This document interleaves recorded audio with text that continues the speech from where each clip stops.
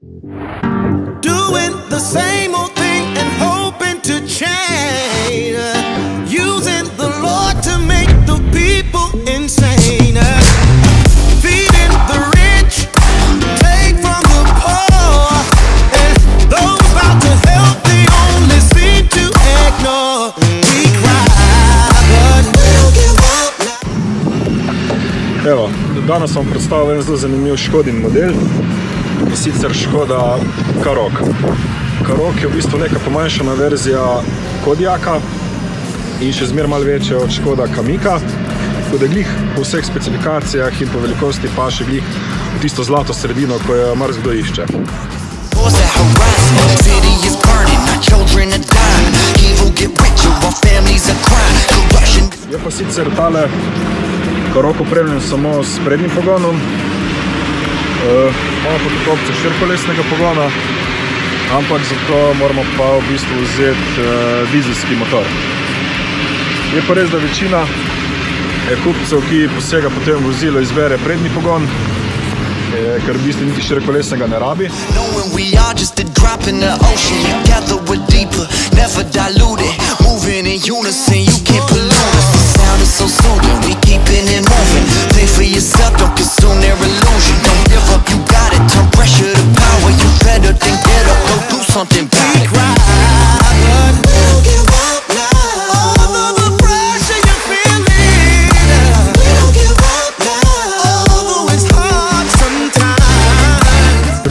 Se za naš model mečkem bolj naravno okolje, sred gozda. Eh, Čeprav ima ta dotični model samo prednji, pogon, ampak zaradi same oddaljenosti od tal eh, se lahko tudi zapeljemo izven urejenih poti, tako da kakšen izlet v gost do vikenda, takih večina stvari bomo brez problema prišli, tudi če imamo sam prednji pogon.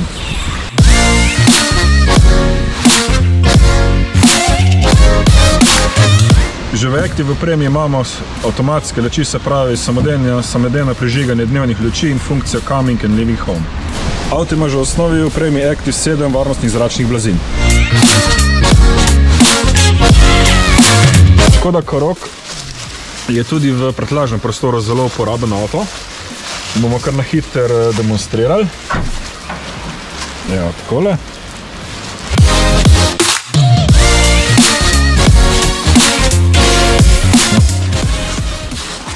Sam prtljažni prostor v osnovi nudi 521 521 litrov. Ampak v Škodi ponuja tudi par zelo inovativnih rešitev. Vsi imamo nekaj v prtljažniku, kar nam leži in tukaj nam pride zelo prav tale zadeva. Eh, Lahko damo takole. Eh, Pa prpnemo in se zadeva ne bo nam vozila po prtljažniki.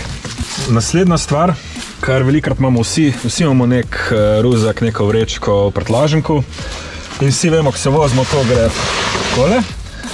Ampak tukaj imamo eno zelo, zelo simpli, klever rešitev. Lahko obesimo kaj gor vrečko, ruzak, evo, takole kavlički, obesimo gor in zadeva med vožnjo ne bo šla nikamor. Tudi samega prtljažnika lahko čist enostavno eh, podremo zadnjo vrsto sedežev, evo, samo potegnemo ročico, takle, evo, in sedeži se podrejo. Sedeži so 60-40, isto velja za to stran. Takole, evo.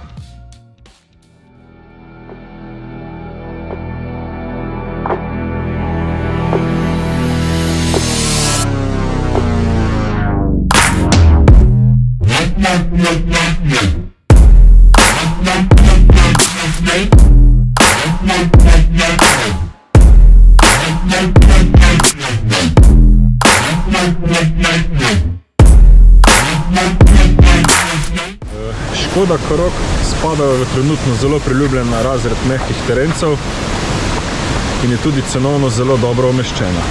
Korok je na voljo s tremi motorji in sicer dva bencinska in en dizelski. Bencinska sta ena nič TSI 110 konjev in pa ena 5 TSI 150 konjev, to je tale tudi, ki ga imamo lahko 6-stopenski ročni menjalnik ali pa 7-stopenski dvosklopnični DSG menjalnik. Je pa tudi na voljo še 2 litrski turbodizel 150 konjev in pa tudi 4x4 v povezavi z DSG menjalnikom. Tako,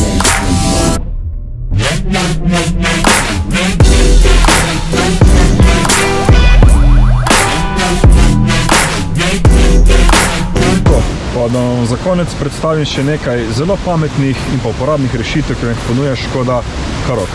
Prva zelo uporabna Simply Clever rešitev je tale mini smetnjak za smeti in pa zelo uporabna stvar v prednjih vratih dovolj prostora za liter in pol veliko plastenko. Naslednja zelo Simply Clever rešitev pa nam pride posebno prav po zimi. In sicer strgalo za led, ki se nahaja pod pokrovom za dolivanje goriva.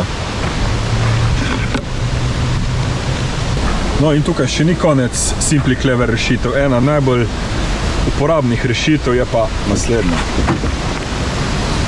V dežju, oliva, marela je pa doma.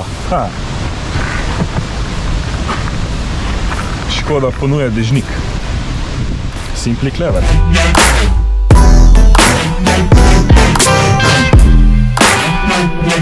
Ena od novosti, ki se pa že nahaja tudi v Karoku, je pa ta, je pa nov dvokraki volan, ki sledi novi oblikovni filozofiji Škode.